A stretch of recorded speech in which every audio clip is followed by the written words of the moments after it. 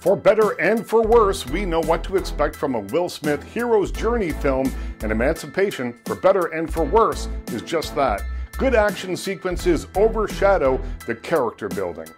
When director Sam Mendes focuses his camera on the movie's central relationship, the movie finds its power. When he doesn't, it drifts.